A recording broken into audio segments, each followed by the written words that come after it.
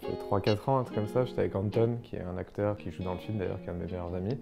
On était invité à une soirée euh, d'ouverture de la boîte euh, Abyssal Process, pour leurs nouveaux locaux à Forêt. Et voilà, on boit, on rigole, on parle avec plein de gens du cinéma, et au bout on se regarde dans les yeux avec Anton et on se dit, viens, on pitch le scénario le plus improbable euh, à un producteur, et si on arrive à se le faire acheter, c'est génial quoi. Et donc on réfléchit comme ça pendant deux secondes, et au bout d'un moment je dis, j'en ai un, genre une armée de vapoteuses qui arrivent de l'espace et qui viennent attaquer les gens en fait, qui les contrôlent par la fumée quoi. Et on rigole bien, et il me dit Panko, on le fait quoi. Du coup, on s'amuse à aller voir les producteurs et à leur dire ça. Bon, on se prend pas mal de refus. Et il y en a un qui nous dit bah, c'est marrant, ça, ça, a étudié quoi. Et du coup, bah, j'ai rigolé parce que c'était Paul, donc à l'époque, qui était justement un des, mon producteur chez Abyssal. Et, euh, du coup, bah, en rigolant, j'avais fait une affiche du film, une fausse affiche, que je lui avais envoyée, il avait beaucoup rigolé. Et du coup, voilà, après, j'ai voulu euh, pousser le truc un peu plus loin, donc j'ai écrit un scénario, parce qu'au début, c'était vraiment une bête idée avec euh, une affiche. Et donc j'ai fait donc, euh, un scénario qui était un peu vraiment une, comment dire, euh, un hommage pardon, au cinéma de série B, voir son parent pauvre, la série Z, donc c'est-à-dire plein de grandes ambitions mais des tout petits budgets.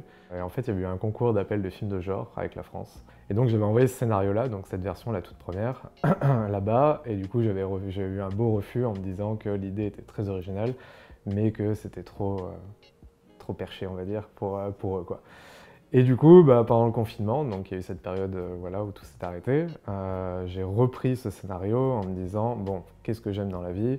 Euh, J'aime le cinéma de genre, mais j'aime aussi les problèmes de société. C'est-à-dire, j'aime les problèmes de société. J'aime dénoncer les problèmes de la société.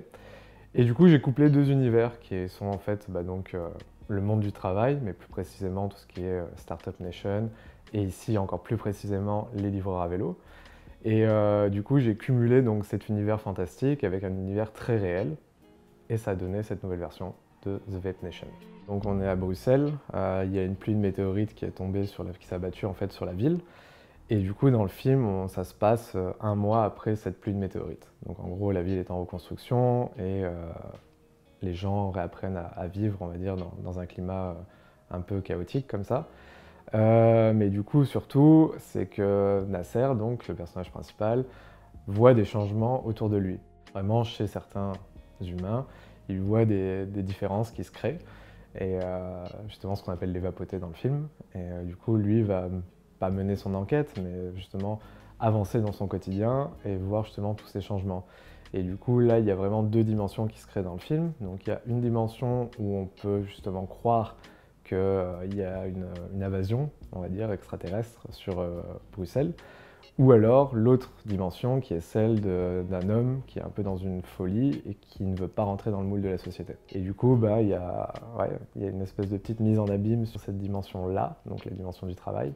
Et euh, j'avais pas envie de m'attaquer à un grand groupe ou de viser du doigt, donc j'ai créé ma marque et ce qui était marrant, c'est quand on a tourné dans les rues, il y a même des livreurs qui sont venus nous demander si on était une nouvelle marque et où on pouvait s'inscrire pour y travailler. J'ai repris exactement le même casting, mais sauf que cette fois, je leur ai proposé des nouveaux rôles. Donc je leur ai parlé de cette idée, on a fait une lecture tous ensemble, et euh, bah, au début j'avais un peu peur, parce que comme je vous disais, je trouvais que même moi-même l'idée était perchée. Et finalement, bah, ils ont tout de suite compris. Et en fait, au fur et à mesure qu'on faisait les répètes, qu'on préparait, qu'on créait toute l'ambiance du film, bah, ils voyaient encore mieux le projet. Et ils devenaient de plus en plus excités en me disant Ah ouais, non, en fait, ça va être trop cool, ça va être trop cool. Et, euh, voilà, on l'a fait maintenant. qui était intéressant pour eux dans ce film, c'est qu'ils avaient deux rôles à interpréter. C'est-à-dire un rôle, on va dire, d'une personne lambda, avec quand même quelques émotions et une psychologie travaillée. Mais derrière, ils devaient incarner les vapotés.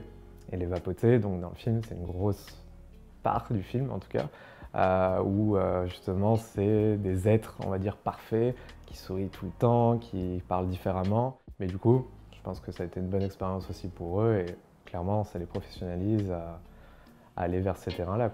Souvent ils nous disent, on a l'impression qu'on fait toujours pas la même chose, alors que là j'arrive, moi je propose une idée un peu certes loufoque, mais qui euh, est attrayante pour eux, dans le sens où là, ils vont pouvoir s'éclater sur la lumière, sur le son, enfin, il y a plein de trucs à mettre, et pareil pour Daphné, qui peut s'éclater sur les effets euh, techniques.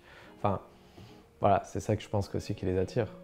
Quand je prends un technicien ou une technicienne, ou un acteur et une actrice, je les prends aussi pour l'humain derrière, quoi. Je les prends pas que pour le talent. Je, regarde aussi qui ils sont, s'ils défendent des valeurs aussi intéressantes, s'ils comprennent là où on veut aller avec le film. Parce que je pense que c'est super important aussi pour la synergie du, euh, du projet synergie.